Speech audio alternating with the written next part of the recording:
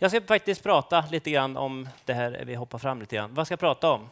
Försäkringskassan, som de flesta av er har mött någon gång i livet. Jag vet att alla ni här inne, om ni är svenska medborgare, har mött Försäkringskassan. Ni är födda. Då finns ni i Försäkringskassan. Denna, det enda tillfället ni kommer lämna det, det är när ni dör. Och det är efter ett bra tag, efter ni har dött. Så jag jobbar för en organisation som faktiskt möter eh, alla svenska medborgare i något skede av livet. Sen får jag verkligen hoppas att vi möts under former i form av eh, att det kommer fram ett nytt barn i andra delar och hoppas verkligen att vi kanske inte möts i andra situationer. Men vi är dock ett stöd i samhället för att ta hand om när lite olika saker inträffar. Men AI och Försäkringskassan, det är faktiskt inte en ny resa. Även vi jobbar med det här i olika perspektiv för att lösa olika problem som jag kommer att prata om lite längre fram. Men innan vi börjar så vill jag faktiskt eh, höja ett litet finger. Det är en stor hype kring AI. AI är en jättestor eh, diskussionsämne. Inte minst vi sitter här, vi pratar om det. Det finns förväntan på att det kan göra saker och ting. Och jag var någon som började här och prata om ju längre upp det är i chefsled, ju mer tilltro sätter man och vill röra sig kring AI. Eh, Uppsala här eh, hade en alldeles lysande insikt i att det som behövs för att AI ska leva är eh, vatten och avlopp. Vi behöver modernisera ett grundsystem för att det här ska kunna leva. Och AI löser inte allt heller, vilket oftast blir en viss förväntan kring att det gör. Och det här är Gartners eh, hypekurva lite grann. Och det, det, flyger ord åt olika håll i olika sätt. Så att, eh, lite varningens finger att alla pratar om det, alla vill göra det. I vissa fall så kanske det är få som gör det. Lite grann som tonårssex brukar jag säga faktiskt. Och det vi har gjort utifrån det här för att bryta ner det här till någonting som vi kan ta på är att faktiskt klassificera det här i som fyra klasser, hur vi applicerar kognitiva funktioner hos oss. Vi har det som ett kunskapsstöd i vår interna verksamhet för att söka på ett smart sätt, hitta information, ta del av information, kunna få en förklaring. Vad handlar den här informationen om? Till att faktiskt också ge mer avancerade beslut och handläggningsstöd som ger rekommendationer kring olika typer av information som kommer komma längre fram till. Att motverka brott och felaktigheter är absolut någonting vi har möjligheter att göra. Eh, men även mot hur vi faktiskt möter er som medborgare i kanaler i form av det kan vara hur vi faktiskt guidar er på ett smart sätt in i, i den digitala eh, interaktionen med Försäkringskassan. Men även i rösttjänster, eh, även chatbottjänster och så vidare vi tittar lite grann på.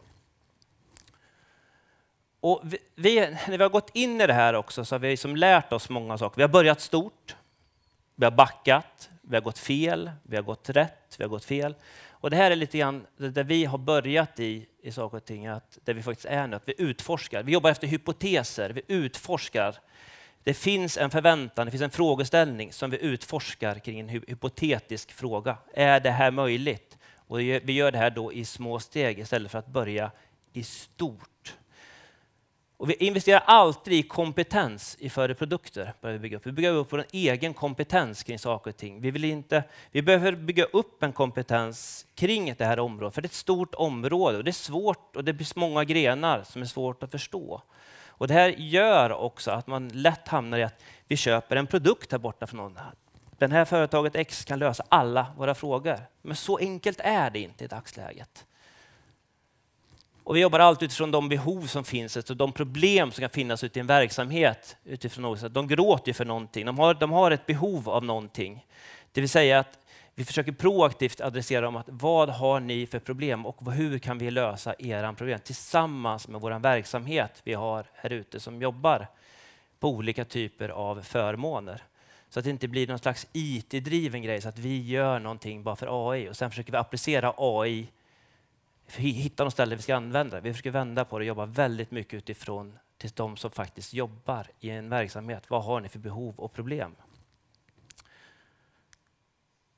Och det vi bygger allting kring, eh, det vi som har en viss kärlek kring, det är det man kallar knowledge graphs, grafer, deep learning. De här två, jag tycker att alla presentationer här har visat på något sätt en grafologisk struktur kring saker och ting. Hur hänger saker ihop? Och det är precis vad deep learning är också. Det som är lite nytt här i lite grann att vi är väldigt containerbaserade, en teknisk term, att hur vi paketerar och driftar saker och ting ute i produktion. Vi, vi, vi kör här, tänk dig så containrar som vi kan bygga och stapla på varandra.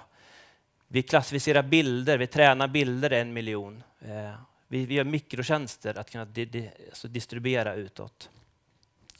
Vill ni veta mer om container, googla. Det här var lite, men det här uppstår ett lite grann av ett äktenskap hos oss har vi gjort utifrån hur vi faktiskt adresserar AI, att vi bygger mycket kring kunskapsgrafer, deep learning och containerstruktur. Sen finns det mycket under det här. Och en av de sakerna vi jobbar med just nu, det är att vi håller på att skapa en, en, en struktur för en digital medarbetare hos oss.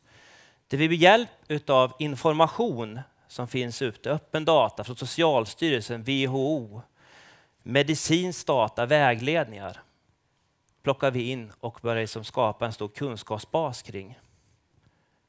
Utifrån det här så har vi också då våra läkare och sakkunniga som vi, som vi faktiskt plockar in, som är med och tränar upp en modell och förklarar vad betyder de här olika delarna.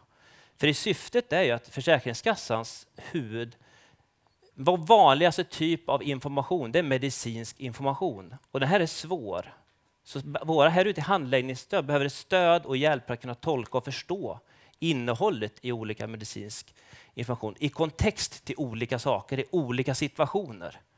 För att få ett stöd för att kunna göra en så bra eh, handläggning som möjligt och kunna få en prediktion kring olika saker. Och Det här bygger vi kring att vi har en kontinuerlig loop men det är framförallt de här två eh, tecknade figurerna längst upp som blir ganska viktiga för oss. Att det är inte vilka som tränar den här modellen. Det är riktiga läkare, det är riktiga sakkunniga personer, både från Socialstyrelsen och andra som är med och berikar information och ger information. Och det är en helt ny struktur som växer upp som inte vi har sett tidigare. Vem är med och tränar och för över kunskapen till en sån här struktur som vi kan bygga en deep learning-struktur för? Som vi faktiskt kan applicera och ställa frågor emot.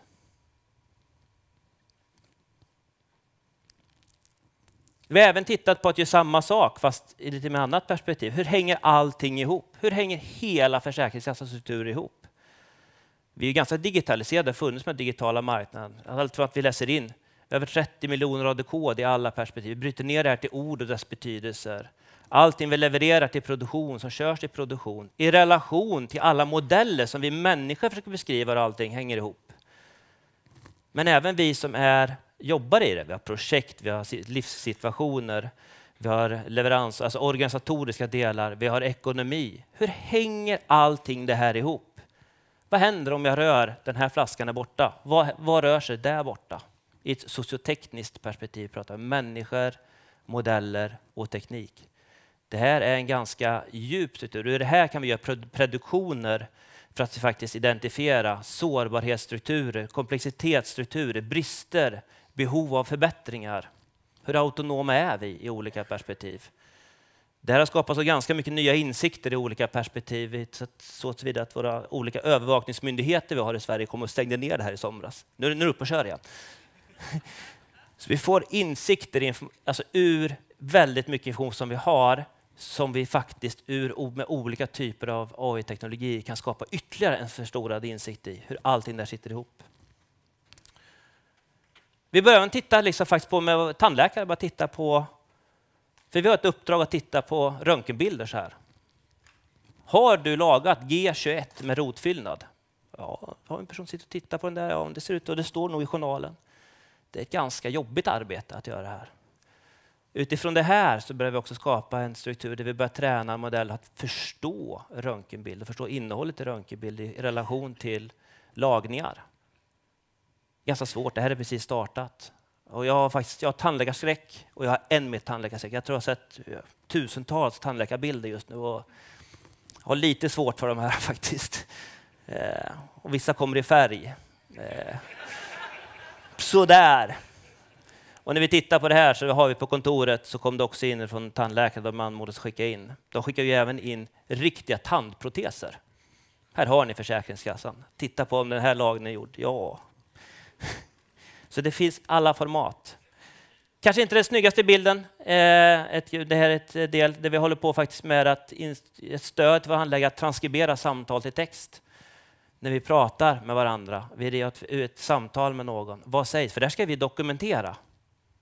Det här har vi som skyldighet att dokumentera i som vad som sägs och så vidare. Idag pratar vi i telefon, efteråt så skriver vi ner, vi kan skicka ett, eh, ett underlag till den försäkrade och fråga är det här vi samtalade om. Det tar väldigt mycket tid och är stor risk för fel. Då försöker vi som istället eh, transkribera det här samtalet direkt i text. Att förstå svenska är ganska svårt. Det är riktigt skitspråk, svenska. Det är, vi är nio miljoner personer i världen, utöver nio miljarder. Vi har inte så mycket underlag. Och vi har dialekter som är faktiskt riktigt intressanta. Så utifrån det här så har det växt upp olika utmaningar utifrån det vi rör oss i. Det här var bara några exempel på vad vi gör. Eh, jag försökte klämma in det här på en kort tid också. Men de största utmaningarna vi har kopplat till det här när vi går in i AI, som har kommit upp på ett väldigt intressant perspektiv, det är det kontinuerliga lärandet. Vem tränar? Vem underhåller en sån här modell? Hur underhåller vi modellen? Vems värderingar har vi, ska vi som ta hänsyn till i saker och ting? Och vi vet att den här modellerna faktiskt gör rätt över tid. Vem övervakar det här? Hur får vi över kunskap från huvuden in i de här systemen? Filosofi som jag var inne på börjar också i som förväntan etik. Hur vill vi hantera det här? Vem är de här som är faktiskt med och tränar och gör urval och de delarna? Lagar börjar bli intressant. Hur vi tillämpar olika de här teknologierna ur ett bearbetningsperspektiv. Ehm, hon eh, som pratade före ehm, tog upp de här väldigt vanliga och eh, jag höll på att säga att om jorden bestod av bara sådana jurister skulle det här mycket enklare. Men det är bra. Det behövs motpoler ibland också. Vad man kan göra. Men framför allt den stora utmaningen är förväntan. Förväntan är idag att AI löser allt idag. Häll in någonting och ni får ett svar ut på andra sidan. Men så enkelt är det inte. Det var lite grann bara det säga vad vi gör. Tack så jättemycket Andreas. Tack. Tack för att du ville vara med oss.